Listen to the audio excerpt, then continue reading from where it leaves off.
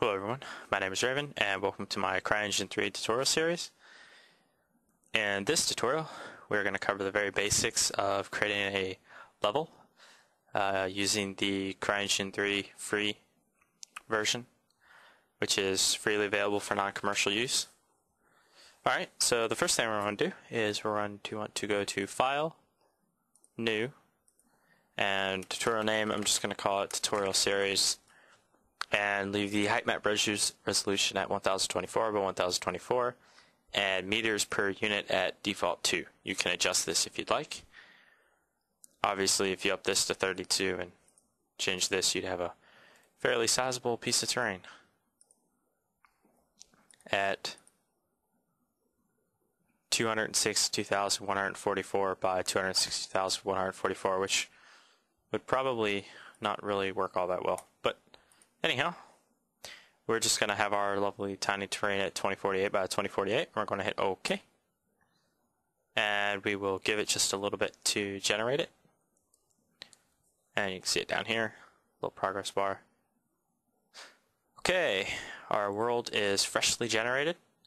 Now to move about inside of the editor, it's pretty standard and common and follows pretty much all of the standards that every other editor follows.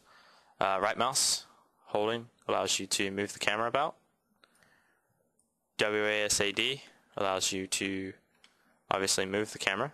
And if you hold shift, you will essentially sprint, which will be much faster.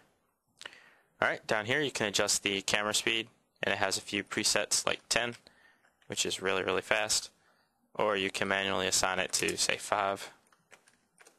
We're going to leave it at 1. Okay, so uh, one more thing, uh, you can adjust the config spec up here, which is obviously the quality in the editor. Um, I do actually have a DirectX 11 card, however I'm unsure if this current version actually has everything for 10 and 11 support.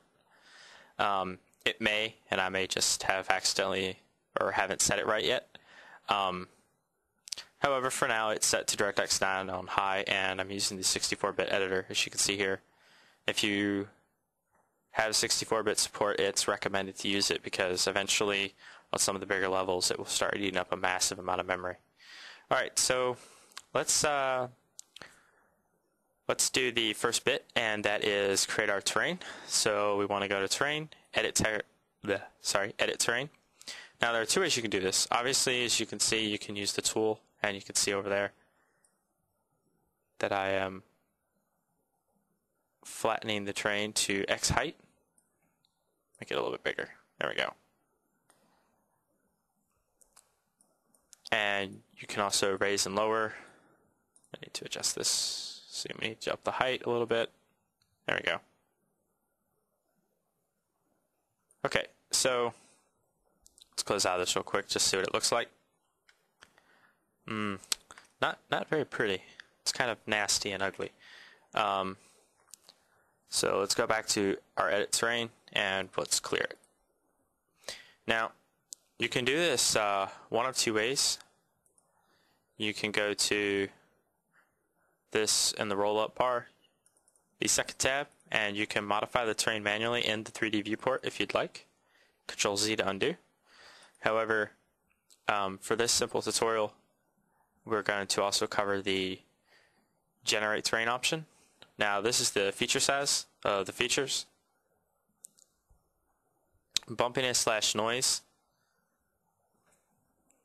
Uh, this determines like the obviously the bumping and noise of the height map that it generates. This is the number of detail passes. The variation adjusts the noise, obviously randomly. Blurring, this will blur the noise, so I'm going to actually up this to 2. Cover is depreciated, so don't use it. Never use depreciated stuff. And the sharpness, exponent, and frequency. And I'm just leave those default. I'm going to hit OK and then we'll wait and then close out of this and then naturally we will go up a little ways and as you can see we have a fairly smooth mountainous terrain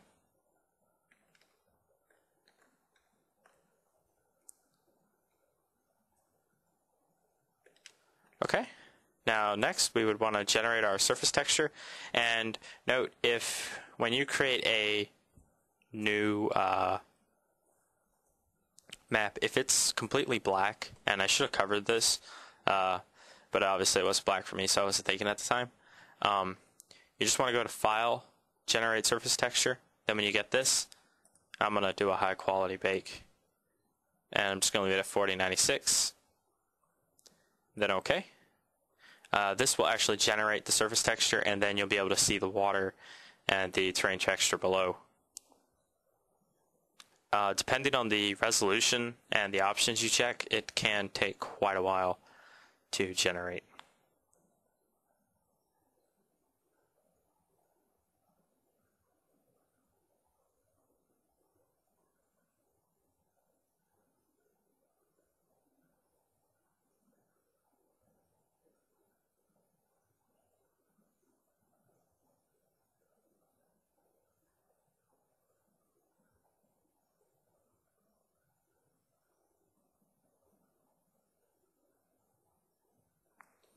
Okay, now you see we have a brand new texture on here, which obviously hasn't changed.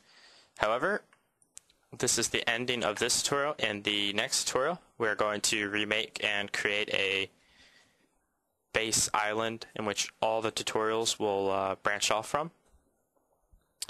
Um, which means obviously we'll be getting rid of this lovely mountainous terrain. And we will also cover adding new textures and painting. Okay? So I hope you guys enjoyed this tutorial. Uh, check the description. If you have any questions, visit the official website, um, which is CryMod, but I think it's crydevnow.net. And follow me on Twitter if you would like to keep up to date when the new tutorials are coming out, or if you'd just like to say hello or whatever. So hope you guys enjoyed this.